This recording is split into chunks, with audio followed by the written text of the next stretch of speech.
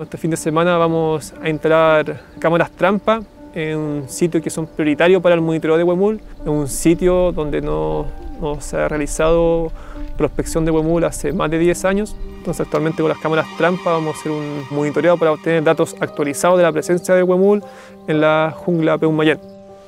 Jungla Peumayén queda en la región de Ñuble, en la reserva de la biosfera, corredor biológico de los nevados de Chillán y Laguna del Laja.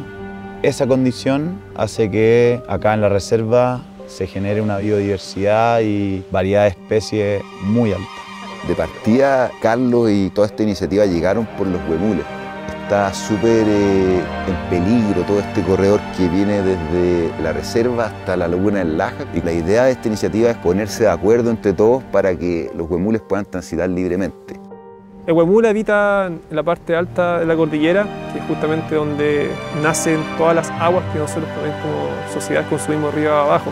Entonces, al conservar el huemul y su hábitat, también estamos conservando una serie de servicios ecosistémicos que nosotros como seres humanos nos vemos directamente favorecidos.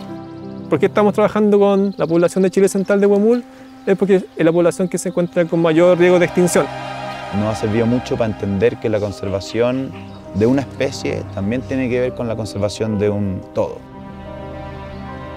Que es súper importante para nosotros poder actualizar estos datos para que nos aporten en el monitoreo del huemul en esta zona. Oh, aquí están, cacha.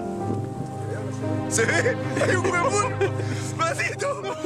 Ahora lo que nos queda es controlar las amenazas del huemul, instalar más cámaras trampa para lograr cubrir un área mayor y así poder tener un, un estudio más detallado de la presencia de los huemules en la jungla Peumayén.